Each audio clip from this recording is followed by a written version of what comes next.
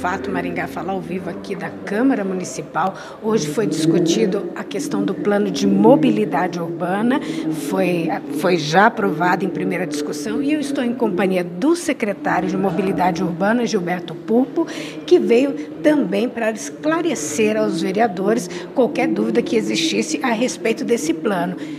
Com essa aprovação, o que, que acontece agora, Gilberto?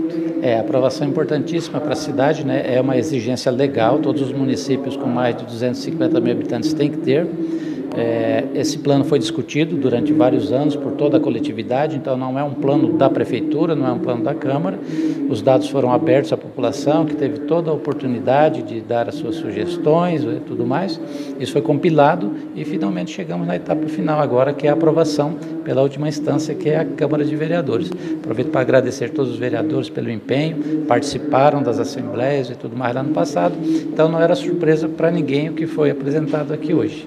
O plano de conhecimento geral está na internet, inclusive, com muita transparência e com uma boa participação popular, o que é mais importante. Se caso não viesse a aprovar esse plano, o que, que ia acontecer para a secretaria? É, o município o município pode sofrer sanções, principalmente quanto à impossibilidade de repasses do governo federal, estadual ou até de financiamentos externos para a questão do trânsito. Então, é uma obrigação legal. Houve um atraso devido à pandemia, todos os municípios sofreram com isso, porque era impossível fazer as pesquisas origem e destino, o trânsito ficou é, totalmente diferente durante a época da, da pandemia, foi isso que atrasou o Plamóvel, mas ele já deveria estar pronto aí há mais de dois anos.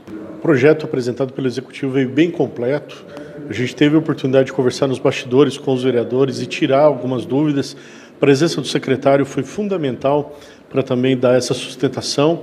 E na apresentação, a gente deixou claro que a comunidade ela precisa ter um trânsito mais seguro.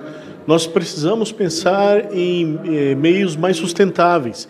E esse plano de mobilidade, ele dá a direção para que a cidade seja mais moderna, seja mais segura, que a gente acredite realmente que quando o semáforo está fechado, a gente vai poder atravessar com segurança, de que o pedestre tenha também a consciência de atravessar no momento certo, enfim, trabalhar as ruas, a cidade, os investimentos na direção da proteção à vida, uma cultura de paz para que as pessoas eh, sabe, sejam menos agressivas ali.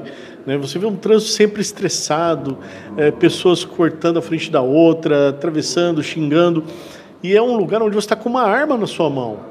Né? Então, realmente, você precisa trabalhar a educação no trânsito, sem dúvida alguma, não são só investimentos é, financeiros e estruturais, mas a gente precisa trabalhar isso, porque só mudando essa cultura, né, entendendo que talvez é melhor ir a pé do que ir de carro, é melhor ir de bicicleta do que qualquer outro sistema, é, diminuir a poluição, todas essas coisas vão dar um sentido de é, civilidade melhor para a gente. Né?